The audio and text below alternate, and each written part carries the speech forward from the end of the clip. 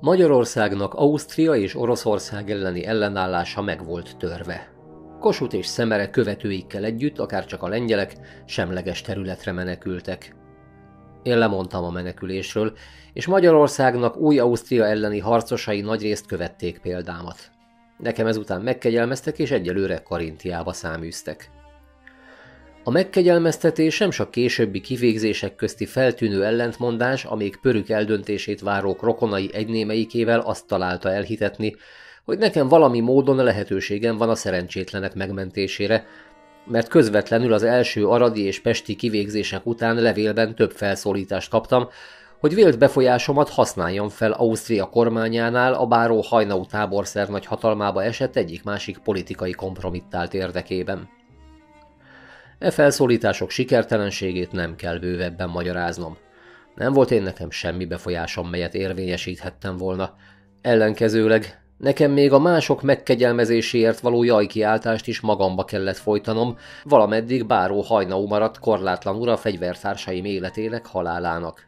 Az én könyörgésem báró hajnau buzgalmát csak fokozhatta volna.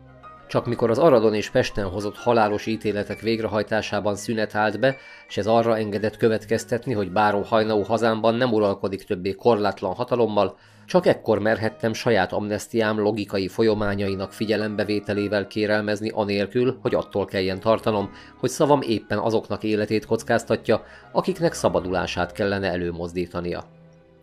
De tőlem a kért kihallgatást megtagadták, és engem kérelmemmel a belügyminiszter úrhoz utasítottak. A biztatások, melyekkel Bach úr engem elbocsátott, némileg megint felbátorítottak, legcélszerűbbnek véltem tehát az uralkodóhoz intézett kérvényemet a nevezett miniszter úr kezébe adni. Négy-öt héttel ezután társaim közül többen amnestiát nyertek, azok tudnélik, akik velem együtt az úgynevezett kvietált katonatisztek kategóriájába tartoztak, vagyis akik az osztrák császári és királyi hadsereg tisztikarából a Magyarország és Ausztria közti háború kitörése előtt kiléptek, de kilépésükkor írásban megfogadták, hogy sohasem fognak fegyverrel ő felségének, Ausztria császárának hadai ellen harcolni.